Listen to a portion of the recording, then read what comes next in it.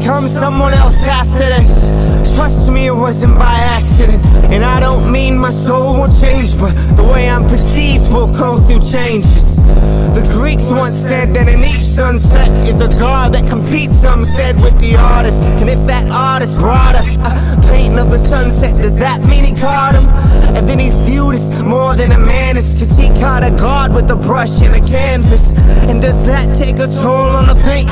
Did he catch a god or did God catch his paintbrush? Either way, he's exalted to an altar by the people, then he's brought to a blasphemous status to the pastors, where he becomes a god to the masses. The Renaissance.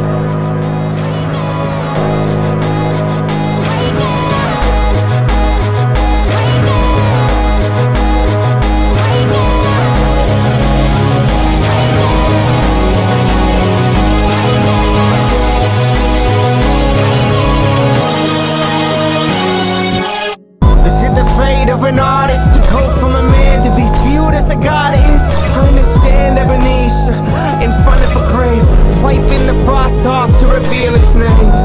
Can destiny be tamed? Are we on tracks like whores or trains? Cause if my blood doesn't run red, then it's me being painted as Apollo in your sunset. And the average man can't understand this, so view me like Atlantis or ghost in the pantry. I'm Poseidon, worshipped by the leeches, cause flows violent, get you seasick. Transformed by the essence of the art, confused by man as a god.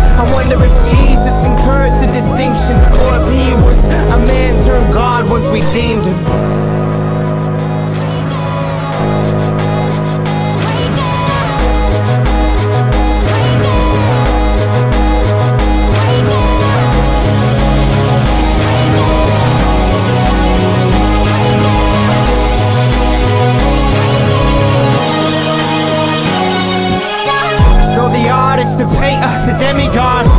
Wished he never painted anything he saw. Psychologically, it was glaring Being thought of as a god when his flesh was apparent. So he burned all his paintings, heart racing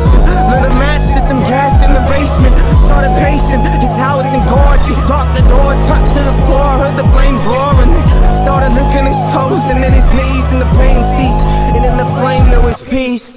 He took a breath of his humanness as tears rolled down his burnt flesh. Gone were his earlobes, gone was his nose And then his lips and his skin dripped off like the roads of a Venice trip. And this was it, his heart was right then.